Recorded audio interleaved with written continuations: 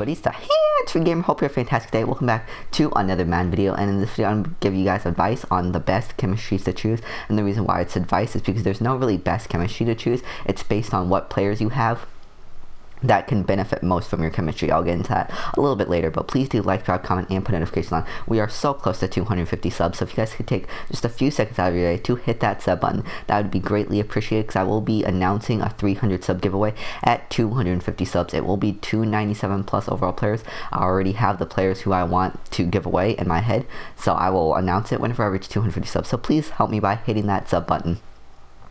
But anyways, let's get right into the video. Also, hit that notification bell if you don't want to miss a single video or if you guys want to get notified whenever I upload. But anyways, let's get offense first. So the best chemistry on offense, we're just going to look at Lamar Jackson real quick. Now, for passing wise, I like to go with either Go Deep or West Coast. Now, the reason I don't choose Play Fake is because uh, personally I don't like uh, the stats it gives you. I mean, play action, I don't feel like that's worth it at all. Pass block could be worth it. Medium route running, eh. Medium accuracy is pretty good.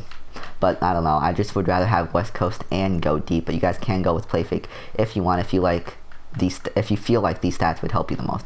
But let's go over West Coast now. The reason why you would pick West. Okay, well here first I'm gonna tell you guys why I chose go deep. So the reason I chose go deep was because if you look at Lamar Jackson, he only has 93 throw power, right? Go deep gives you plus two throw power. But if I had like a Patrick Mahomes or a Michael Vick or you know some other qu quarterback that has 99 throw power, then I don't need go deep. But I have Lamar Jackson that only has 93 throw power. So you want to look at your players and what they need. So I look at Lamar Jackson and I see he needs throw power. So I throw a go deep on it. But if I had Patrick Mahomes who has like 99 throw power, I would probably put West Coast because it would help with uh, throw under pressure and uh, short accuracy. And if you look at Lamar Jackson, his throw under pressure is 98 and his short accuracy is uh, 96. So he doesn't really need West Coast, which is why I went with go deep.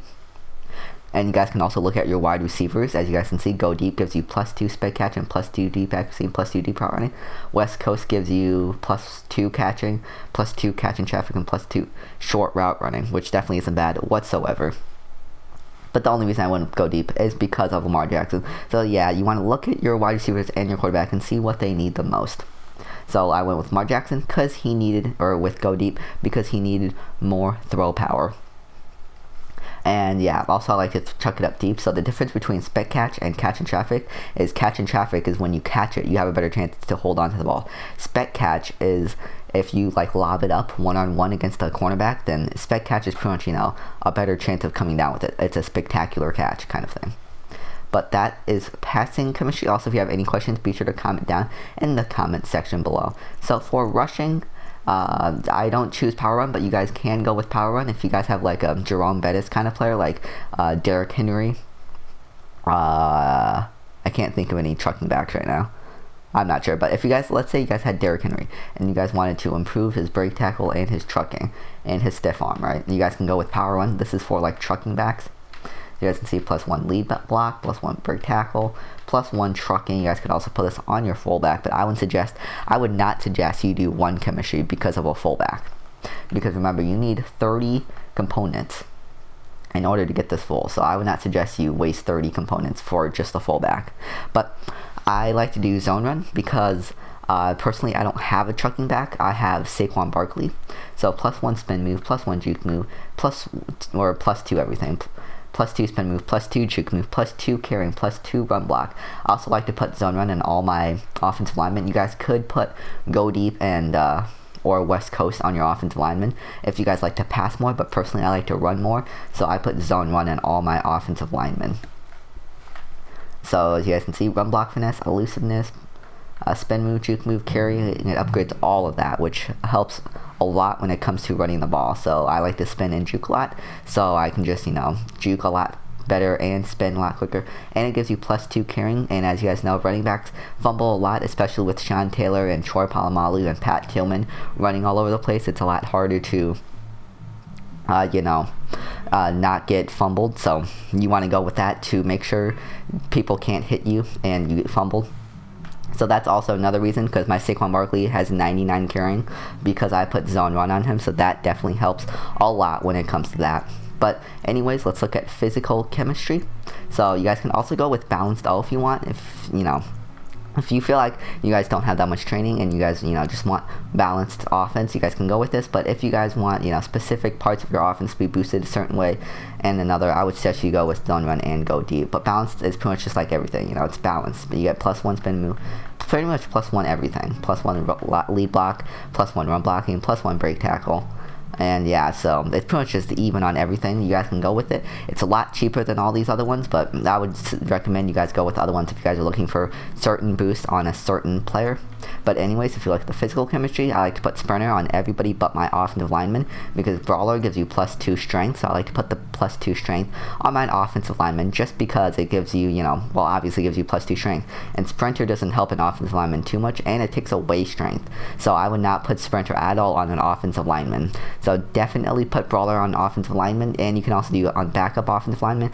Also I sometimes put them on tight ends too because I sometimes use tight ends just to block. So sometimes I put Brawler on tight ends to block. But if you guys have any questions, be sure to comment down in the comment section below. Anyways, those are the offensive chemistries. If you guys want to see what I'm rocking out, here I'll show you guys here in a second what I am rocking as in chemistry. So if you guys go all the way to the right, as you guys can see, I'm currently running a mini 49ers team team. I have Terrell Owens, Deion Sanders, I forgot who else, Garrison Hearst. I'm running a you know mini 49ers team team.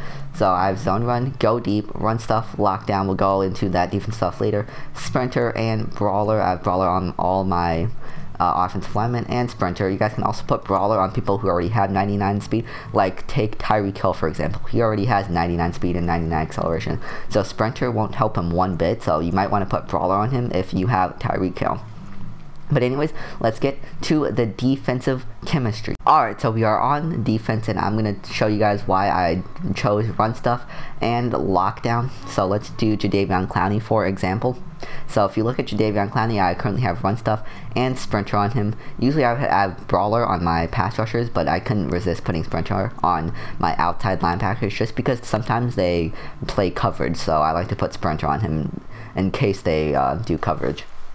But run stuff is you guys can choose run stuff or pass rush, and it kind of speaks for itself. Run stuff are pe people who run, and pass rush are for people who pass. Now the reason I chose run, run stuff is just because well, uh, here maybe we can look at. All right, I thought we might be able to look at all the stats of run stuff, but maybe we can't. But as you can see, pass rush gives you plus 2 pursuit, plus 2 impact blocking, plus 2 press, plus 2 catching, plus 2 finesse moves, and plus 2 power moves. And the reason why I went with run stuff is because I felt like people were running. The meta right now is corner routes, post routes, and stretches, and dives. Uh, so yeah, that's why I'm going with run stuff, just because I feel like people are running the ball a lot more, and I feel like Jadeveon Clowney has really good finesse moves and power moves already, so that's another reason why I chose that. So also you want to look on your defense players too. Like I said, every time you pick chemistry, you want to look at your defense players and see what they need help in the most. If they have like 99 block shed, then don't choose run stuff because run stuff won't help at all. Because you know what's the point of adding two block shed onto a person that already has 99 block shed? Same thing with pass rush. You don't want to put pass rush on a player that already has 99 finesse moves. So once again, you want to look at all your players and see what they need. But as you guys can see, pass rush gives you plus two power moves plus 2 finesse moves. I already went over that. And run stuff, I'm pretty sure gives you plus 2 block shed, but it's just not showing up right now for some reason. So yeah, you guys can also go with balanced, and it's pretty much plus 1 to everything, plus 1 tackling, plus 1 press, plus 1 finesse moves, plus 1 hit power, plus 1 block shed, plus 1 man coverage, plus 1 power move, and plus 1 zone coverage. And the reason why I like to go with lockdown, I like to go lockdown with my middle linebackers, my cornerbacks, and my safeties. Now the reason I like lockdown is because well, there's nothing to compete. You're not going to put run stuff on your cornerbacks. You're not going to put pass rush on your cornerbacks. But usually I'd say, you know, usually when I do these chemistry videos, well, this is actually my first time doing it, but usually when I, you know, talk about this kind of thing, I, I say, well, the reason I chose Lockdown is because I think it's better than, but there's nothing he's competing with. Lockdown is not competing with any other chemistry. Lockdown is its own chemistry. There is no, you know, other, you know, chemistry that you guys are like, hmm, maybe I'll choose this over lockdown. But there is literally no other chemistry you would choose over lockdown. So I highly recommend you put lockdown on all of your cornerbacks and safety. It helps you tremendously. Plus two man coverage, plus two zone coverage, plus two press, plus two catching, plus two play recognition. It definitely helps out a lot. So you definitely want to put lockdowns on your quarterbacks, your safeties, and whoever you use, or if that's your middle linebacker, right, left, or, you know, outside linebackers. Then you want to put lockdown on everybody that covers, and then they'll be locked down, all pun intended. and then for sprinter, you want to put sprinter on everybody. It's kind of your decision because, like, I put sprinter on Julius Peppers and Jadeveon Clowney, and they're both supposed to be rushing. But I usually put brawler on my defensive lineman because it gives you plus two strength. But like for people like Aaron Donald, once again, he doesn't need strength. So sometimes I either leave him with no physical chemistry or I put sprinter on him. So like you know you don't need to put you don't need to put brawler on a person that already has 99 strength. You don't need to put sprinter on a person that has 99 speed and acceleration. So if you guys have a defensive lineman that already has 99 strength, do not put anything on him. You guys can put sprinter on him, but it does take away two strength and two agility. Just note that. So yeah, like I said, I put brawler on all my defensive linemen unless they already have plus 99 strength, and I put sprinter on all my you know linebackers and cornerbacks and safeties. But those are the chemistries I use. Like I said, I will be coming out with an ability video sometime later in the day. And yeah, we're so close to 250 subs. Thank you guys so much for the support lately. It's been insane. And you know, please just drop a sub. We're so close. And yeah, thanks for watching. Remember to look out heart, heart, mind, soul, strength, and to love your neighbors as yourself. I'm the hands-free gamer. Have a fantastic day. I'll see you guys next time. If you have any questions, be sure to comment down in the comment section below. I'll see you guys next time. Bye!